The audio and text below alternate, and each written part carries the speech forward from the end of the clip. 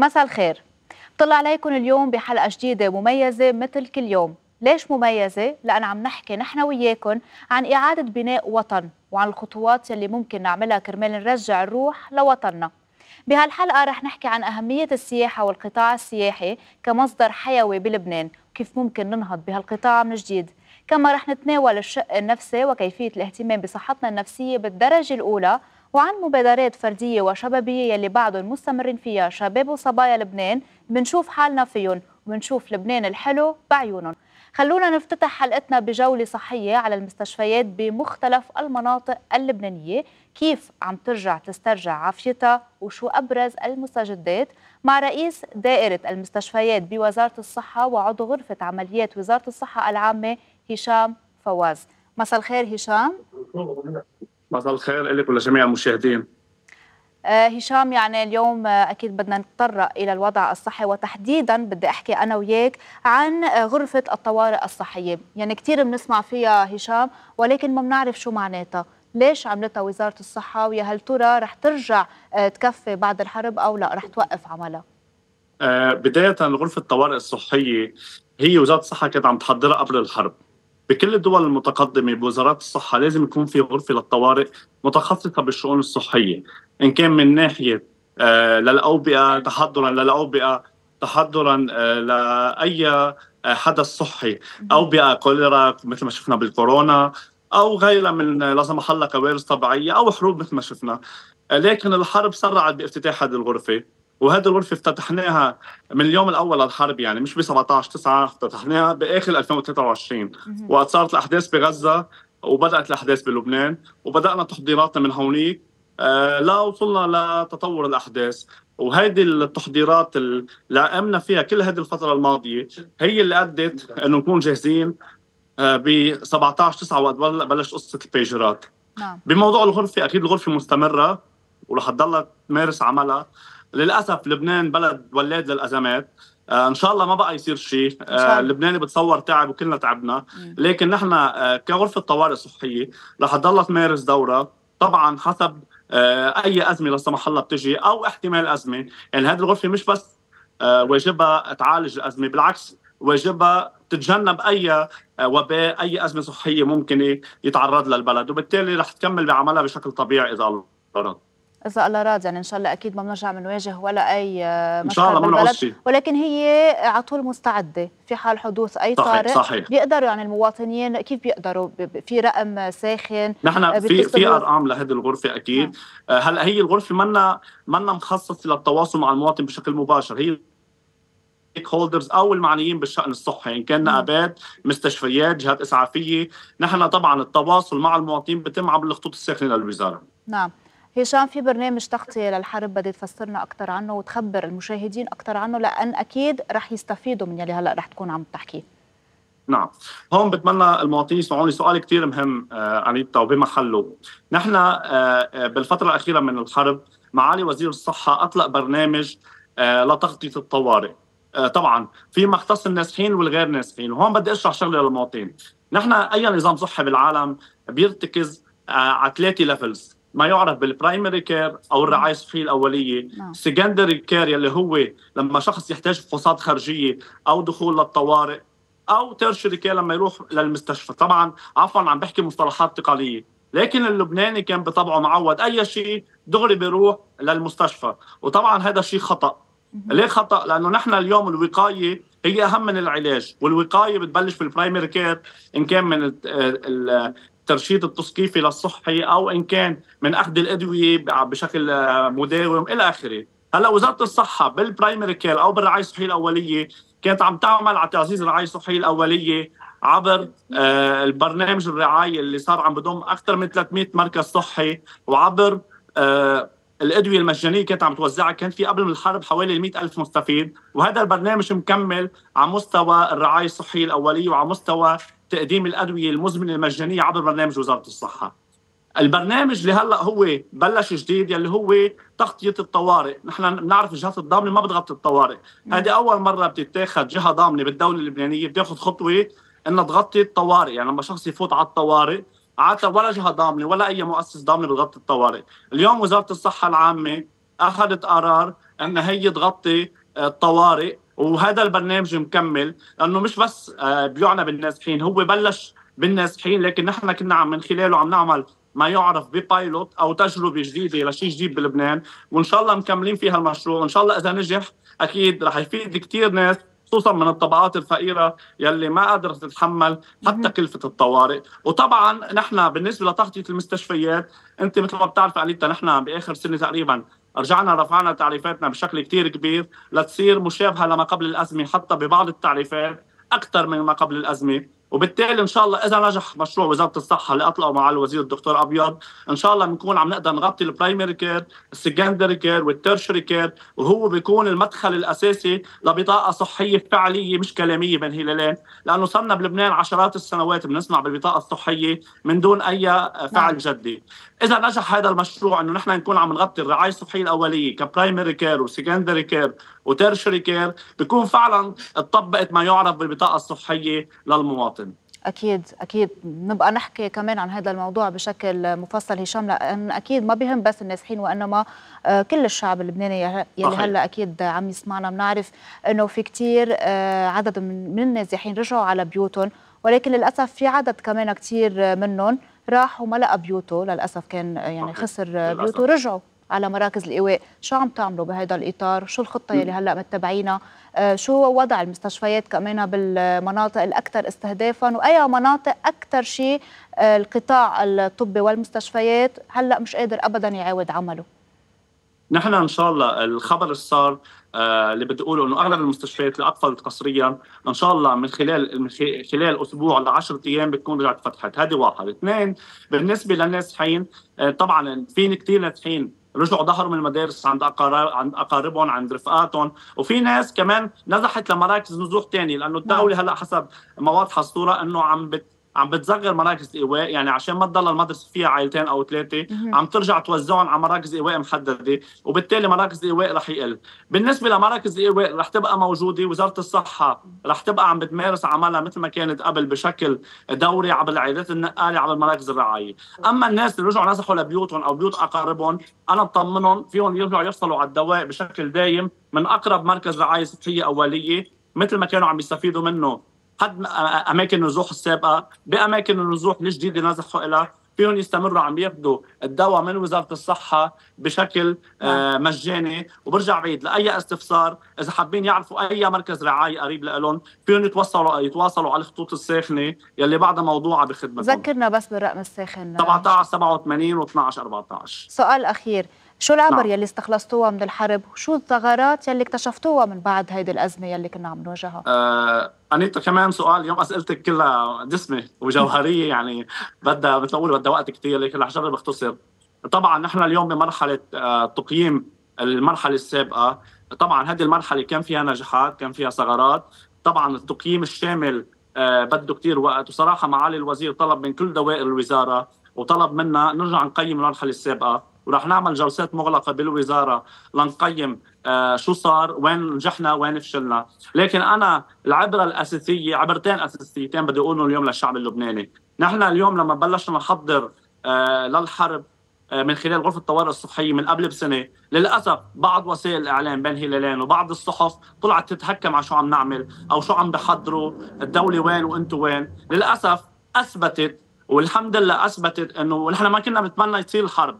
لكن أثبت إنه نحن إذا عن جد بدنا نبني دولة بدنا نخطط بشكل سليم بشكل استراتيجي مش بس بالصحة بكل الملفات. إذا عن جد نحن بدنا نبني دولة سليمة بدنا نخطط برؤية واضحة بأهداف واضحة وبدها صبر الأمور نعم. أي شيء إذا أي هدف بدك تحققيه بدك تخططي له بدك تصبري. هذا أول عبره اساسيه العبره الثانية هي القطاع الحكومي. اليوم وزارة الصحة العامة اللي هي وزارة للدولة اللبنانية أثبتت نحن بنعرف الأزمة المالية وبنعرف رواتب القطاع العام، أثبتت إنه لما يتم الإيمان بالدولة وينوضع الموارد الصحيحة بالمكان الصحيح مع التخطيط اللازم قادرين نعمل كثير أشياء. ومش بس وزارة الصحة. مم. حتى اليوم نحن بنعرف إنه الجزء الكبير جزء لا بأس به من الجرحى بالخطوط الأمامية كان عم يتوجه لمستشفى تبنيه الحكومة ومستشفى دولة الرئيس بري الحكومة النبطية الحكومة. طبعا بالشراكة مع المستشفيات الخاصة بثور والنبطية. مع بقلل من شان ودور المستشفيات الخاصة اللي كان كثير كبير.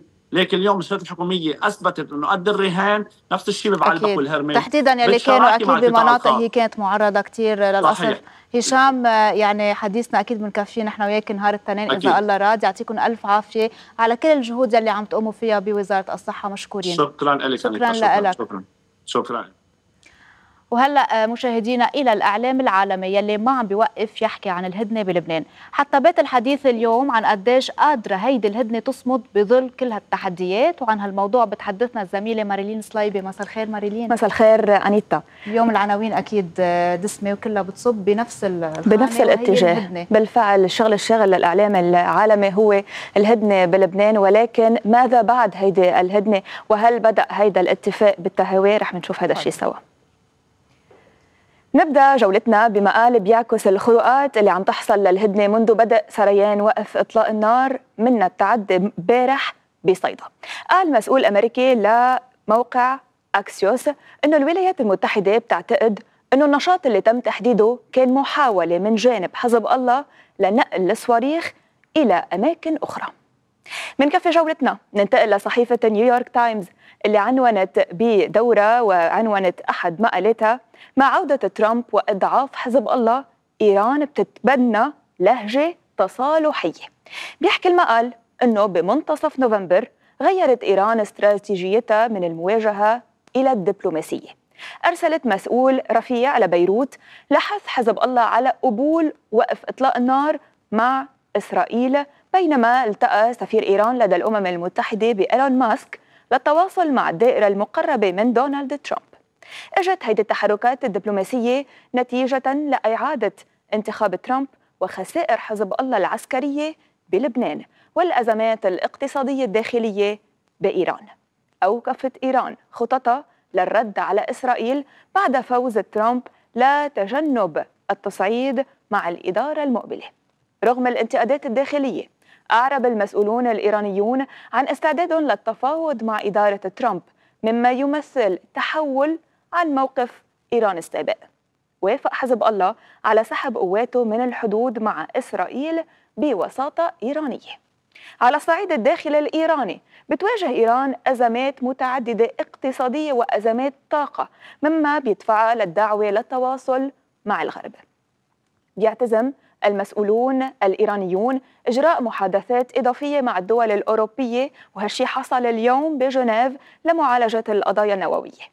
بيشير محللون إلى أنه هيدا التحول بيعكس نهج براغماتيكي بيهدف للتقليل من التوترات مع حماية مصالح إيران. أيضا بصحيفة نيويورك تايمز اللي سألت بعنوان لإلها هل غير عام من الحرب؟ حزب الله بيقول المقال أن الحروب تحدث لا شك تغيرات جذرية مع الأطراف المشاركة. وحزب الله مثال على هذا الموضوع بعد صموده بحرب 2006 بحيث أصبح قوة عسكرية وسياسية عابرة للحدود وذلك بدعم إيران. ومع دخول وقف إطلاق النار حيز التنفيذ. يشهد حزب الله تحول نحو التركيز المحلي مع تراجع لقدرته على النشاط عبر الحدود نتيجة للضغوط الإسرائيلية المتصاعدة. رغم أن إسرائيل أضعفت حماس لا شك وأضعفت حزب الله وإيران إلا أنه كاتب هيدا المقال بحذر من أنه إيران ورغم ضعفها لا تزال خطيرة وقد تسعى لامتلاك قنبلة نووية كوسيلة للردع. إسرائيل اليوم بوضع استراتيجي قوي وبتترقى بإدارة ترامب الجديدة لتعزيز الضغط على إيران.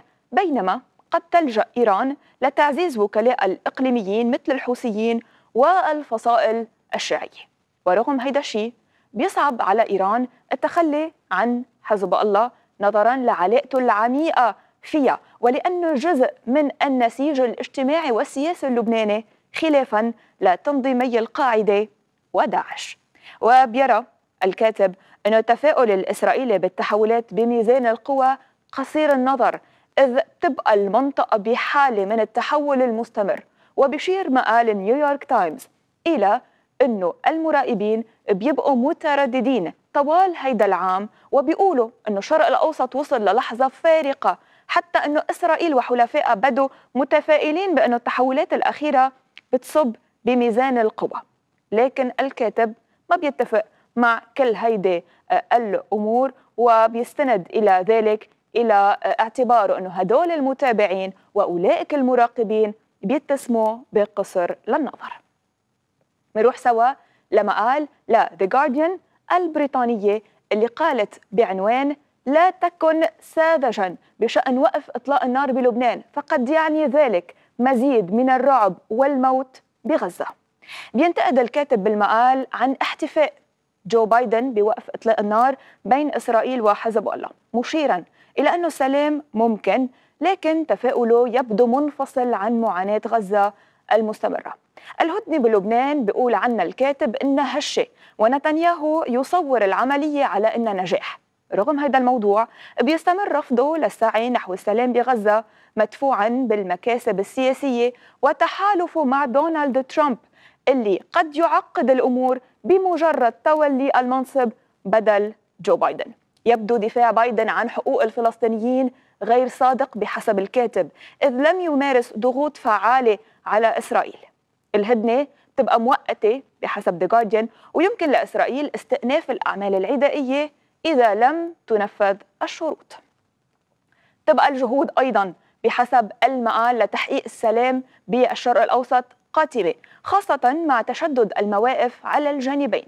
إيران ورغم ضعفها قد تسعى لإعادة تسليح حزب الله ومتابعة طموحاتها النووية مما يزيد من عدم الاستقرار بالمنطقة. ومع اقتراب نهاية ولاية بايدن واستعداد ترامب للعودة إلى البيت الأبيض من غير المرجح أن يتم التعامل بعقلانية مع التحديات المتزايدة. ما ينذر بمزيد من عدم الاستقرار بالمنطقة حيث تظل الهدن المؤقتة مجرد غطاء لحقيقة حرب طويلة الأمد من دون نهاية بالأفق وذلك بحسب The Guardian نختم بمجلة نيوزويك اللي سألت هل يصمد وقف إطلاق النار بين حزب الله وإسرائيل؟ لحتى تكون عم بتجاوب المجلة نقلت عن خبراء اعتقادهم أنه وقف إطلاق النار بين إسرائيل وحزب الله رح يصمد رغم هشاشته مثلا أحد المؤرخين اسمه مبين قدامنا على الشاشة ببيروت بيشوف أنه حزب الله بحاجة للراحة بعد هذا الهجوم الإسرائيلي الواسع بينما نتنياهو قد يضطر للمناورة سياسيا للحفاظ على وقف لإطلاق النار خاصة إذا كان مرتبط برغبات الرئيس الأمريكي المنتخب دونالد ترامب. مثلا أيضا وبحسب المقال أحد أساتذة العلاقات الدولية اللي عم نشوف المقطع اللي بيحكي عن رأيه بهيدا الإطار بيشوف أنه الاتفاق سيستمر لأنه حزب الله تكبد أضرار كبيرة. والجيش الإسرائيلي منهك ونتنياهو يسعى لإظهار نجاح بإعادة اللاجئين من شمال إسرائيل. مثلا أيضا أحد الباحثين بجامعة كاليفورنيا بيأكد أن حزب الله كان متردد بخوض الحرب دعما لحماس بسبب الأزمة الاقتصادية بلبنان. في حين حققت إسرائيل هدفها بإبعاد حزب الله عن الحدود وعودة 60 ألف إسرائيلي إلى منازلهم ما يسمح للجيش الإسرائيلي بالتركيز على جبهة غزة اللي تعد الأولوية الحقيقية. بهون أنا بكون ختمت جولتي على الإعلام العالمي أنيتا جولة إضافية وصحف ومقالات إضافية ملتقانا يوم الاثنين. شكرا لك ماريلين يعني خصوصا بعد أكيد ال ال الهجمات أو مش الهجمات يعني الخروقات اللي عم تحدث اللي عم بتصير على الحدود. صحيح. إن شاء الله هيك هالهدنة ما تكون حبر على ورق وإنما ترجع هيك تكتمل فرحة المواطنين. كل يلي غادروا بيوتهم قسرا وما ترجع تتجدد ابدا. للأمانة ولهال ولهالموضوع يدعوت أحرنوت وهي صحيفة إسرائيلية ما صح لنا. نحطها لأنه من شوي قالت إنه قد تكون يعني نسبة نجاح هذه الهدنة بنسبة 50% على امل نكون بال 50 الإيجابية. المقبلة والتنين بتحمل لنا أكيد أخبار هيك كلها إيجابية. شكرا لك. شكرا لك. Bye bye. اليوم وبعد وقف إطلاق النار ومن بعد هالفترة اللي كثير صعبة يلي قطعنا فيها كلنا بحاجة نوقف ونفكر كيف ممكن نهتم بصحتنا النفسية وكيف نواجه آثار التوتر الخوف والقلق يلي تراكمت خلال هالفترة الماضية وهل فعلا فينا نرجع نعيش حياة طبيعية بعد كل هالصدمات؟ الأجوبة عن كل هالأسئلة مع ضيفتنا المعالجة النفسية فلور إنديا الراعي ترامب. أهلا وسهلا فيكي. أول شيء شو هالاسم الحلو؟ ميرسي. بداية فلور فلور إنديا ولا بتحبي فلور فلير قبل ما نغوص أكثر بالتفاصيل ونحكي عن الأطفال والنساء والشباب بدي تخبريني بالمجمل كيف بتأثر الحروب على الصحة النفسية وكيف تحدث أكيد صدمة؟ أكيد الحرب هي صدمة آه، كثير كبيرة آه، لأنه نحن ما بنتحكم فيها. يعني اليوم نحن بنتعرض أوقات لمشاكل أو لصدمات بس نحن عادة بنكون متحكمين فيها بتكون خاصة فينا. لما بتكون هيدي الحروب أكبر منا يعني نحن ما عندنا قدرة آه، قدرة إنه نحن نسيطر على أي شيء. فبالتالي بتأثر علينا من كثير نواحي. أول شيء على أكيد اثبتت الدراسات إنه بتأثر على الدماغ تبع الإنسان. بتأثر إذا كنا نحن آه، كان في شخص معرض من خلال أمراض وراثية بتأثر إنه بتبين هيدي الأمراض مثل سكيزوفرينيا مثل البارانويا اللي هي اضطراب الشكوك آه، بتأثر كثير وأكيد بتأثر على الفرد يلي ما بيعاني من أي أمراض بتأثر عليه من ناحية القلق من ناحية الصدمة من ناحية آه، التوتر الشديد بصير يعمل نوبات. هلع يمكن بتأثر على الثقة عند الأطفال خصوصا مثل ما سألتي كثير بيقدر يأثر على الثقة عند الأطفال بيأثر على الثقة بالمستقبل على الإحساس بالحماية آه، إذا هو رح يكون محمي.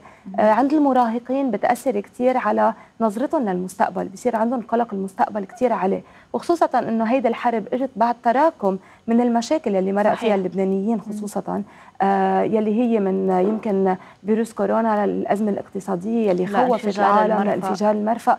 كله اجى تراكمات فصار عندنا تراكمات سلبية بنيت شخصيتنا على خوف على خوف كثير كبير.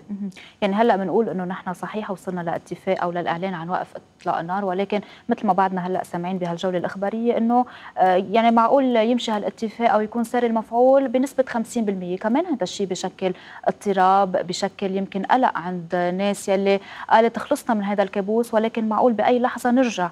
هون كيف بيقدروا يتعاملوا مع هيدي الحالة؟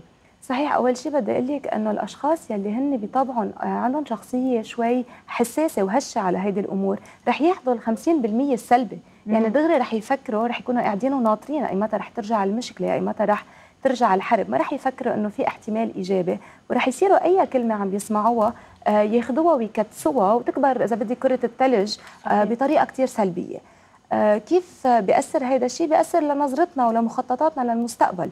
يعني اليوم بنشوف كثير أشخاص بحدوا مخططاتهم للمستقبل بيصيروا ناطرين آه، بننطر تنشوف. بتعرفي نحن بلبنان كثير بيقولوا بننطر الفرج. مم. ففي كثير أشخاص بيصيروا قاعدين ناطرين هيدا الشيء ما بيقدروا ابدا يقوموا بأعمال. فبصير طبعا أكثر إذا بدك أشخاص passive أشخاص آه، بيروحوا صوب الكآبة آه، وما بيعودوا فعالين بالمجتمع أكيد وقت هون يكونوا آه، مش productive أو مش عم يعملوا شيء أو غيروا الروتين تبعهم. تلقائيا رح يحسوا بأحباط رح يحسوا ب depression رح يحسوا إنه هن مش قادرين يعملوا شيء وإنما خاضعين للواقع يلي عم نقطع فيه. وبنرجع لفكرة إنه هن ما فيهم يسيطروا.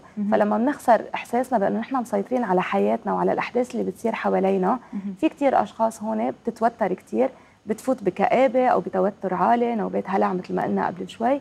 وببطلوا قادرين أبدا يقوموا بأي تصرف لأنه بتصير دائما الخطط فيها دائما آه، وإذا صار هيك آه، إذا طلعت أنا وصار هيك شو بعمل؟ دائما بيجربوا يستبقوا الأمور بس من نح مش كانوا عم يحموا حالهم؟ صحيح صحيح بيجربوا إنه كأنه هن عم يحموا حالهم فبيقعدوا وبينطروا. كيف يعني إذا بدنا نقول غريزة الإنسان بتروح آه، الغريزة وقت بنحكي فيها بنشبهها نحن بالحيوان. آه، بتروح على الإبرناسيون. بنقعد وبنصير نحن هيك ناطرين. بننام ثبات فترة كتير طويلة. نحن ناطرين شو بدنا نعمل بس بهذا الوقت الزمن عم بمر وعم نخسر. إن كان أشغالنا إن كان حياتنا العائلية عم نخسر كثير أشياء أكيد وهذا الشيء عم بيأثر على نفسيتنا. هلأ في يقول إنه القلق والهلع هن من آثار أو علامات الصدمة النفسية اللي بتظهر بعد الحرب أو في آثار ثانية لا في كثير آثار ثانية مثلا نوبات الهلع والقلق هي وحدة من الآثار. القلق لما بنحكي عنه بنحكي عن توتر وبنحكي كمان عن آه، فقدان قدرة النوم. آه، بنحكي كثير عن تعرق عن نبضات قلب سريعة بنحكي عن آه، رجفان بيصير عند الإنسان. بنحكي عن أفكار سلبية كثير كثير عالية.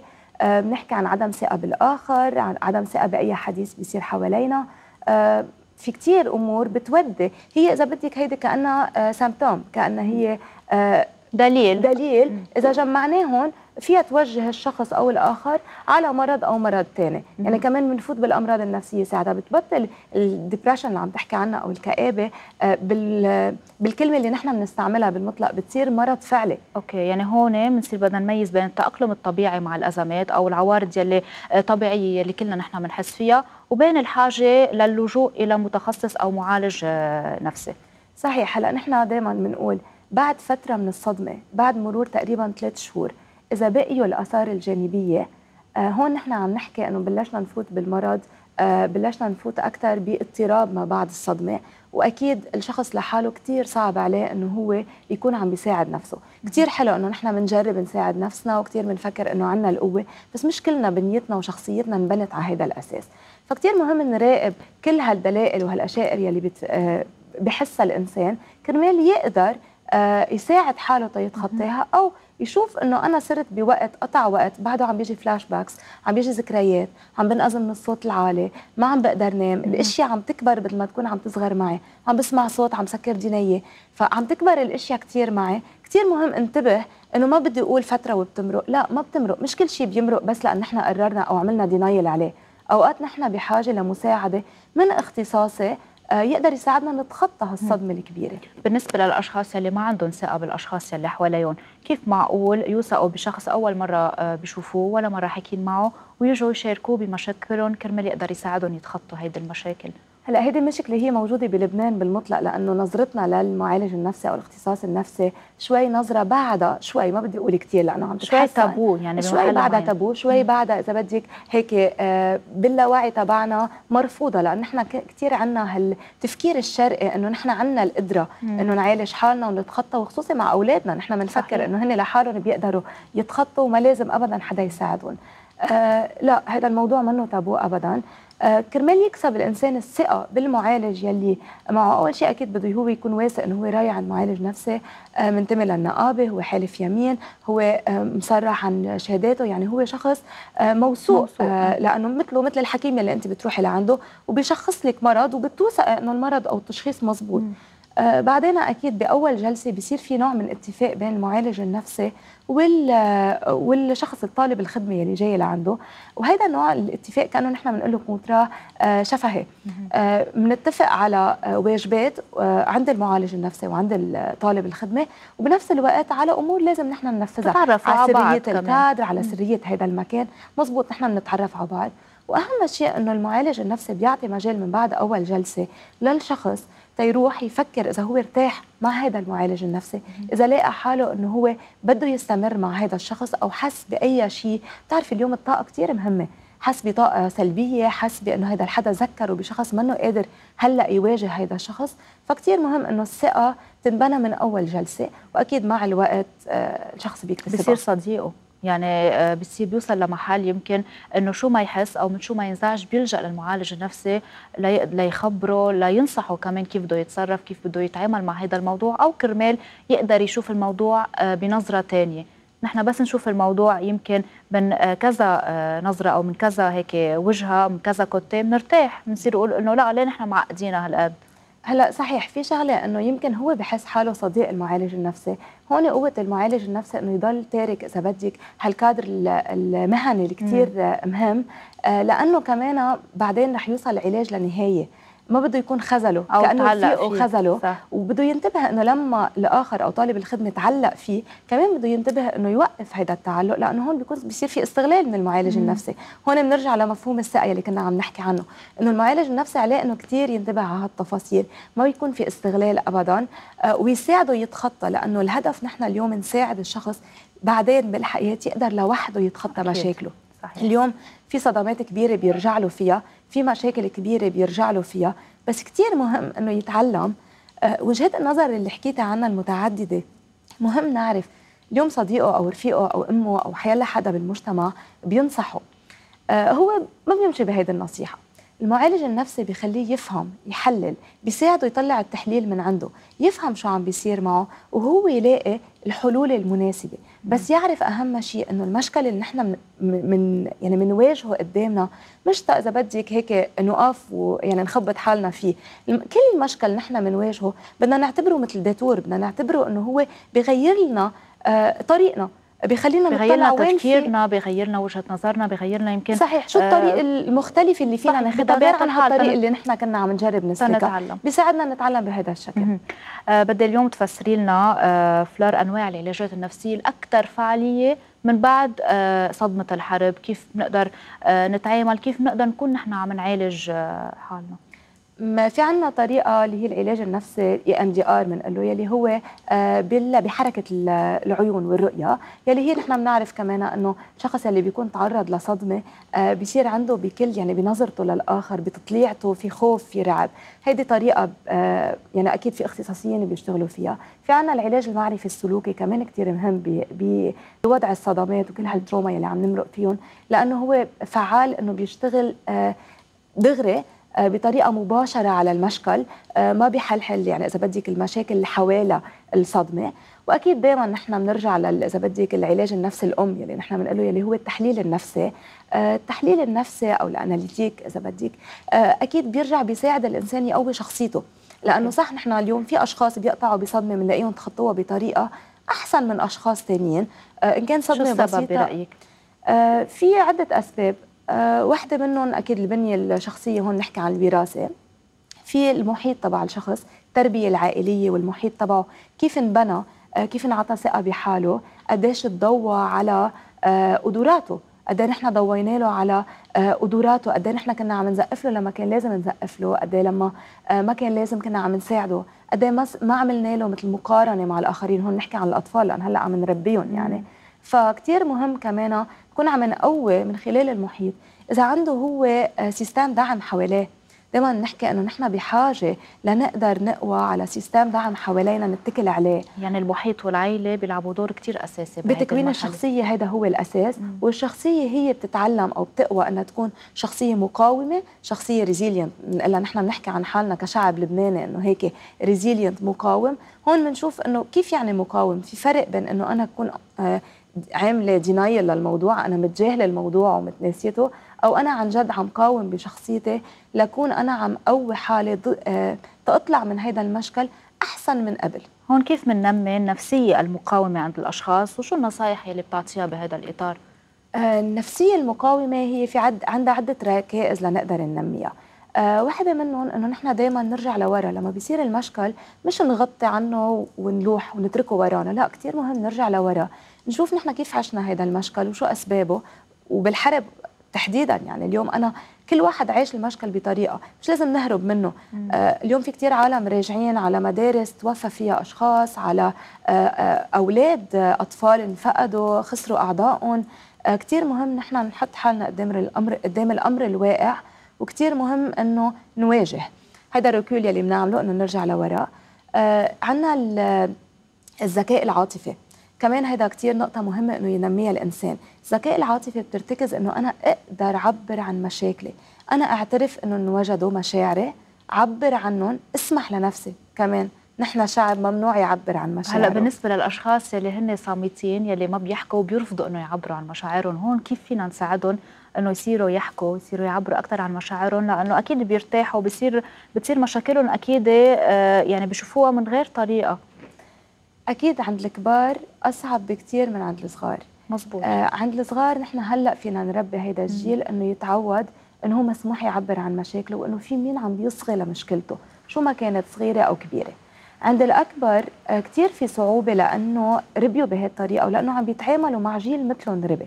سو هون بيكون دور الاختصاصيين إذا بدك أو حتى بالأشغال إنه يتنمى فرق دعم. كرمال يقدروا يساعدوا الأشخاص من خلال الاصغاء لهم من خلال طرق يمكن بديلة. آه طرق يمكن هلأ عم نشوف كثير فنية إن كان بالرسم إن كان بالرقص التعبيري. في كثير طرق بتساعد الشخص إنه يعبر بالموسيقى ومن بعدها يقدر يحط الكلمات عن هيدي المشاعر. أنا أول شيء بدي أعرف شو عم حس بجسمي بمشاعري شو عم فكر وأقدر أعبر عنهم بالتالي. لما بعبر عنهم أنا بقدر لما شخص بيساعدني إنه هو سمع لي فهم أنا شو عم حس؟ حس إذا بدك بالتعاطف معي ومن بعدها ساعدني إنه أنا أعرف دير مشاعري. كثير مهم نحن اداره المشاعر هي آخر مرحلة هون بنكون اكتسبنا ذكاء عاطفي وطورنا من الحكي من التعبير للحكي. للحكي إذا بدنا نقول من التعبير الجسدي أو من خلال الرسمات نعم. لإنه حكينا. من بعد الذكاء ال- العاطفي في خطوة ثالثة في كتير خطوات آه، من بعد الذكاء العاطفي نحن اللي فينا نعمله ارجع أنا آه، أعيد النظر بقدراتي. ارجع أتذكر شو هي نقاط القوة تبعي وأنا كيف بقدر من خلال نقاط القوة اللي اكتسبتها خلال كل السنين ابني حالي. يعني يلي بالحرب تدمر له بيت يلي تدمر له مهنة يلي خسر آه، عضو من أعضائه يلي خسر فرد من العيلة كان يتكل عليه. بده يرجع يشوف هو كفرد كشخص وين هي قدراته وكيف بيقدر يفعلها ويشغلها ليقدر يرجع ينمي حاله.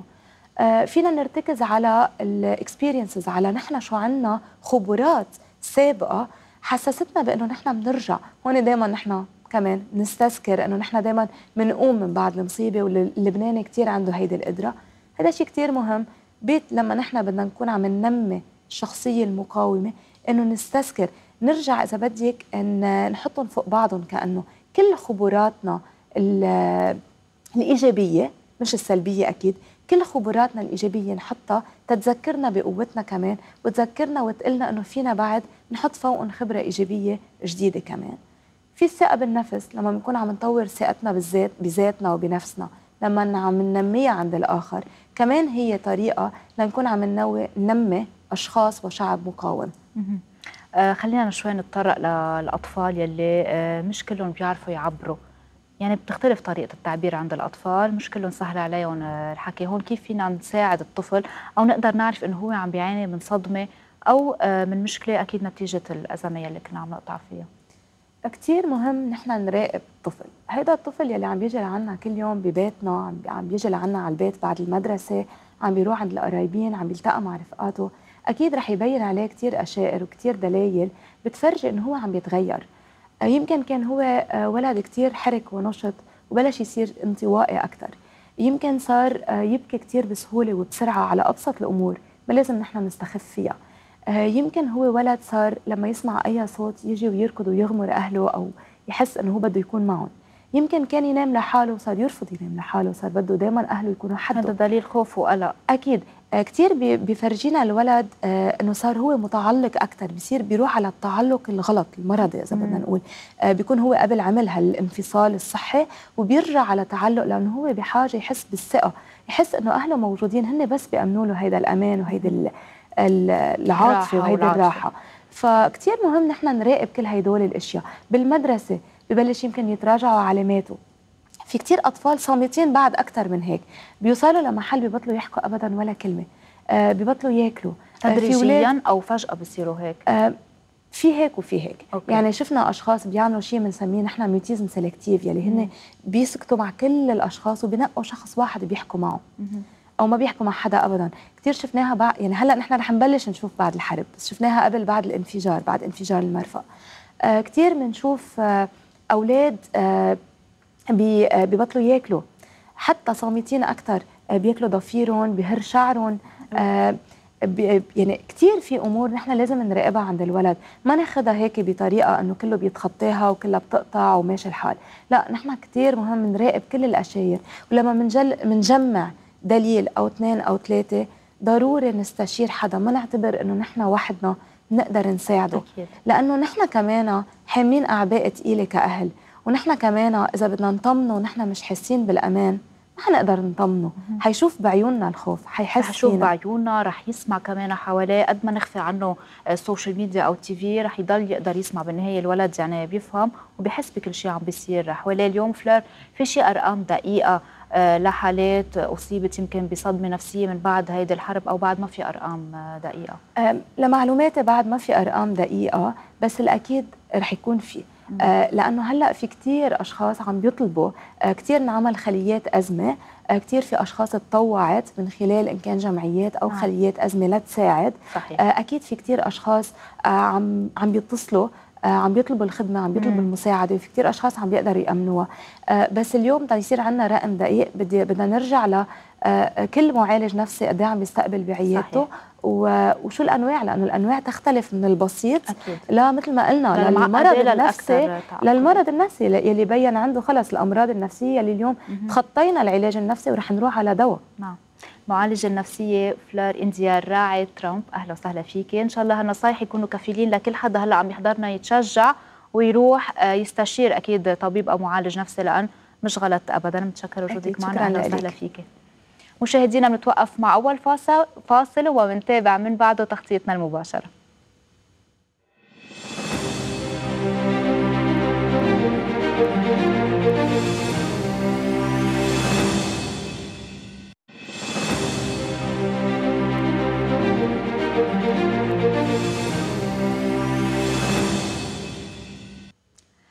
باليوم الثاني من بعد الإعلان عن وقف إطلاق النار شو وضع مراكز الايواء شو وضع النازحين؟ قديش بيبلغ عدد الناس يلي قدروا يرجعوا على بيوتهم؟ كل التفاصيل مع مستشار وزير البيئة ومنسق بلجنة الطوارئ جواد سبيتي. مساء الخير جواد. مساء النور مساء النور. نبدا معك بالبداية بالمشهد على الأرض كيف عم بيكون؟ كيف عم تكون الرجعة؟ قد عدد الناس اللي عم يقدروا يرجعوا على بيوتهم؟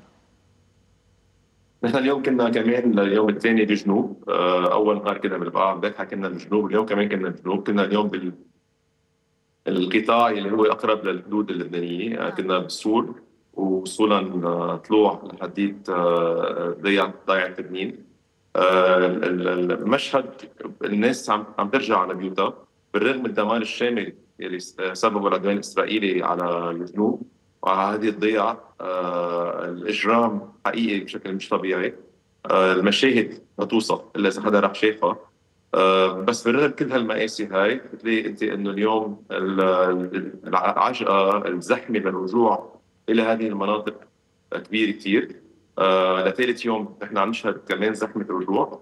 آه وبدت نزول صارت الرجوع. الناس عم تحاول تلملم let's see شو موجود عندها بالبيت اللي عندها بيتها ما تأذى واللي بيتها تأذى بعتقد هلا عم يدبروا حالهم مع أصحابهم ومع أقربائهم بال بال بالقرى يعني ناس عم ترجع على مراكز الإيواء جواد أو مراكز الإيواء يلي كانت موجودة فيها بطلت عم تستقبل نازحين. شو الوضع؟ ما حدا ما عم يستقبل نازحين لأنه النازحين هي نحن تبع مراكز الإيواء تبع بيروت تبع جبل لبنان تبع البقاع وتبع الشمال 80% اوكيبنسي فضيت يعني بتلاقي بعد 20% موجودين. اللي بعدهم ما دبروا بيت لهم أو اللي بيتهم لا امل للرجوع له على القريب العاجل.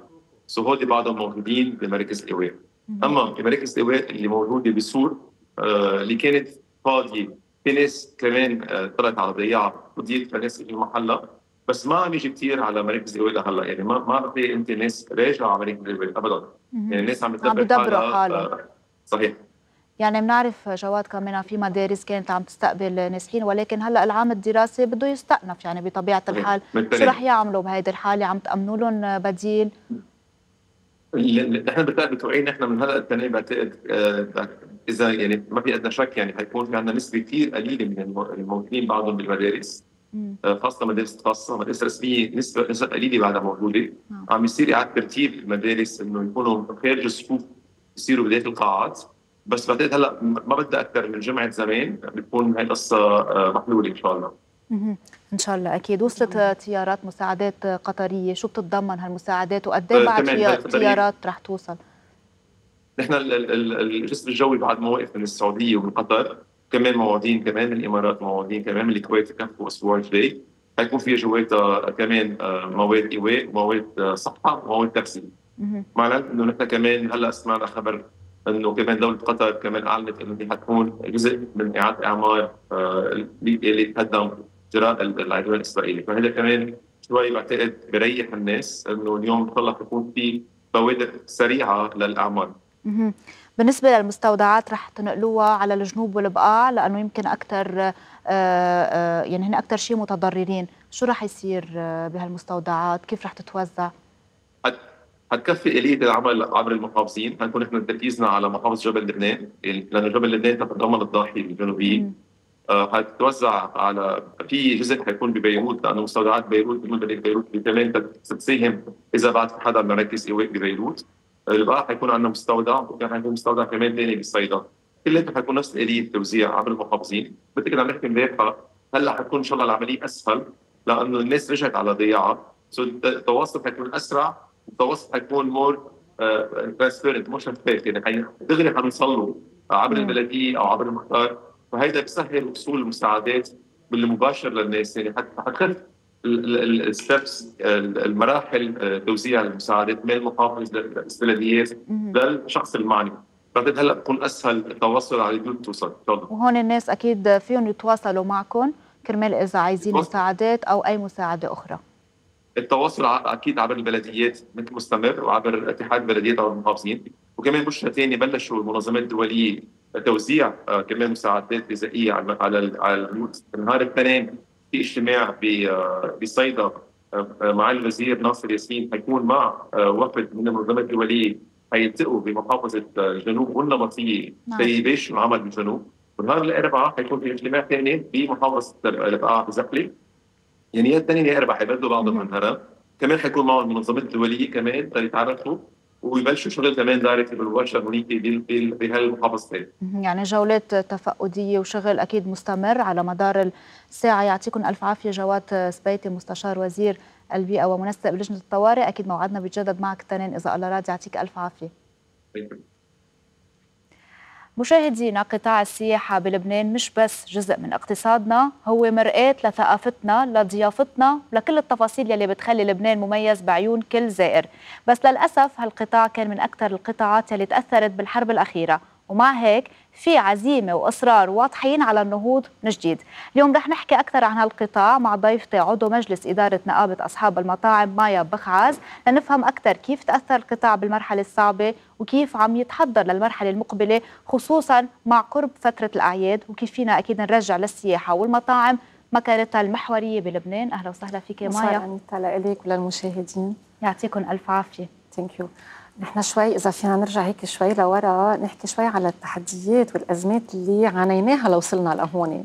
والأكيد والرؤية الإيجابية اللي يعني قطعنا بخمس سنين كمان يعني بخمس سنين. إذا بدنا نبلش شوي بال 2019 بالأزمة المالية البنوك تدهور الليرة. كورونا الانفجار أربع exactly عندك أزمة اقتصادية général عندنا أزمة اجتماعية أزمة سياسية. وبعدنا عم نعاني فيها واكيد الازمه الأمنية اللي هلأ اخر شيء حسينا فيها بطريقة كثير كانت يعني قوية على لبنان. أه يعني, يعني بدي أعرف كيف تأثر تحديدا آه، لبنان من وين بدك نبلش؟ بالمرحله يعني قبل؟ لح... إيه لح... بس لوصلت لهم يعني نحن من 2019 لل 2023 أو 2022 كنا عن جد نازلين بدروب كثير قوي.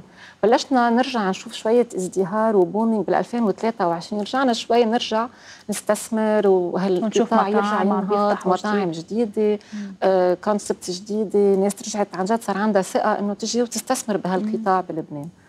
ورجعنا بآخر السنة الماضية يعني باخر 23 آه، رجعنا شفنا انتكاسة كبيرة و ورجعنا بلشنا إنه لا حالة حرب مزبوط كانت يمكن شوي كانت محصورة يعني رجعنا آه امتدت على نطاق يعني إذا بدي أحكي شوي عن شهر سبعة بلش بشهر سبعة. كان في drop بتقريبا 30% مقابل السنة الماضية. وهذا ال drop كان بعد ما بلشت الأزمة توصل على بيروت كثير بس هذا إذا بدك نتيجة إنه اليوم السايح اللي بيجي على لبنان ما حجز قبل بوقت يعني اللي جاي من الإكوادور من البرازيل من البلاد البعيدة. ما حجز. نحن بنتكل على هذا السايح اللي بيجي بيقعد شهر بيصرف بيستأجر بيت بيتعشى بيتغدى بالمطعم. هذا بشغل عن جد بيلعبوا دور كثير بالدور كثير كبير. so اتكلنا على ال last comer يلي بيجي من بلاد الخليج من الشرق الأوسط بيجي من أوروبا. هذا بيجي آخر دقيقة بياخذ قرار وبيجي وهذا basically بيجي expat يا بيجي عند أهله يا بيجي عند قرايبينه.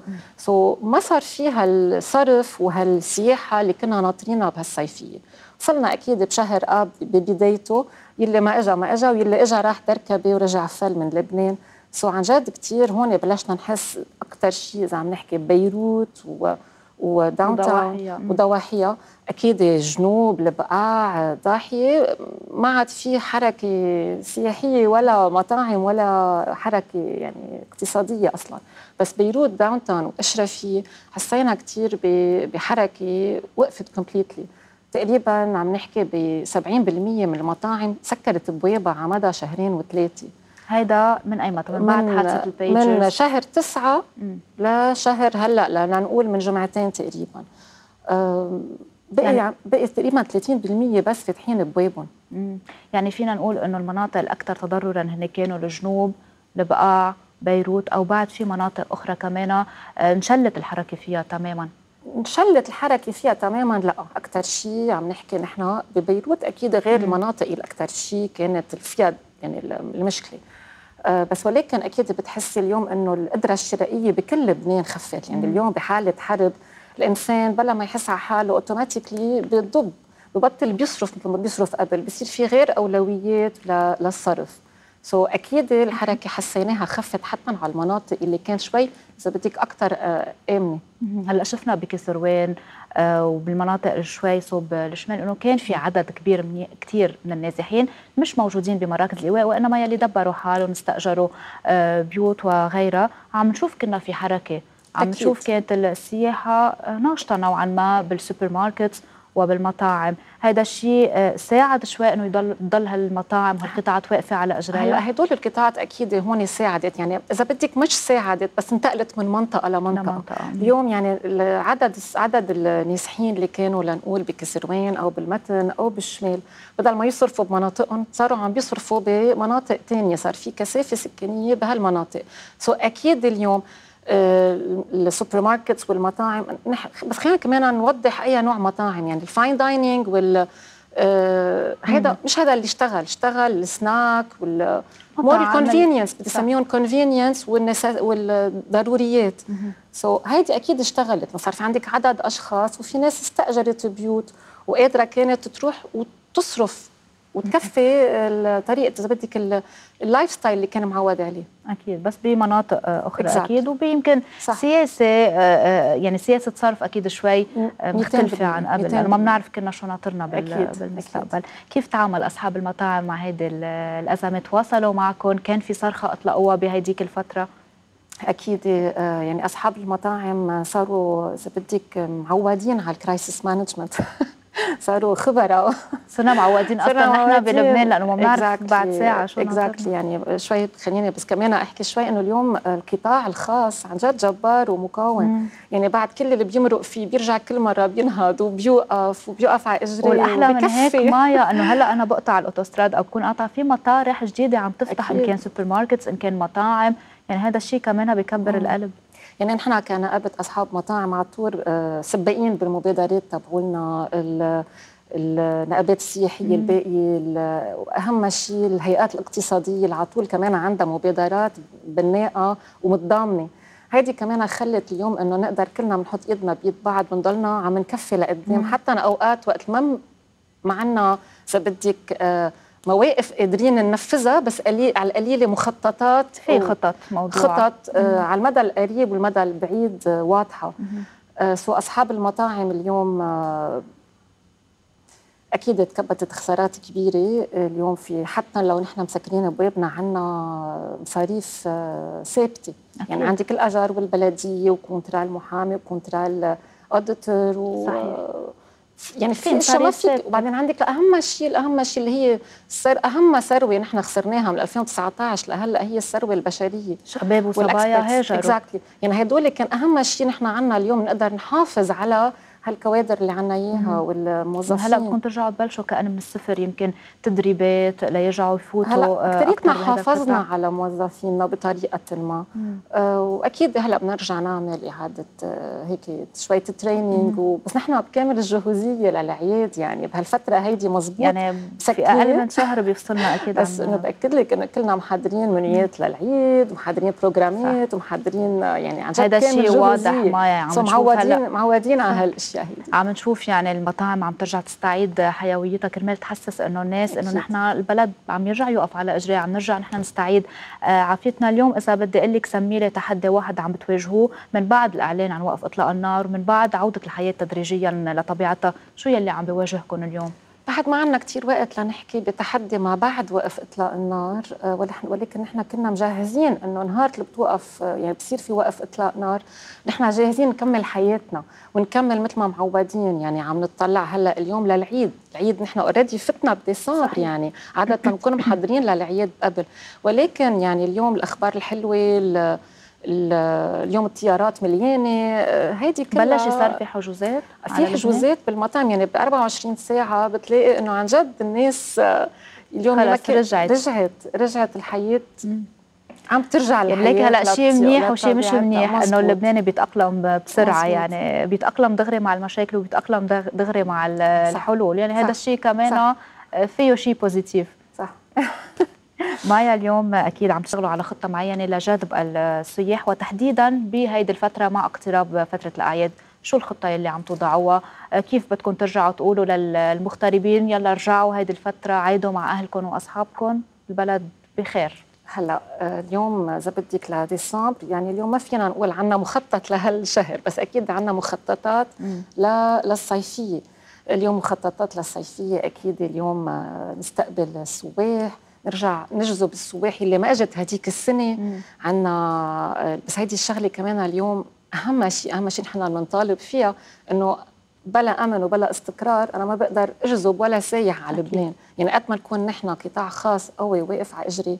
اليوم نحن بنطالب بانتخاب رئيس بنطالب ب بإصلاحات لحتى نقدر اليوم نقول لهالسايح احجز من هلا وتعال. اللي جاي على العيد أصلا جاي واللي بعده كان خايف يحجز عم بيحجز اليوم هلا وبكره تشجع.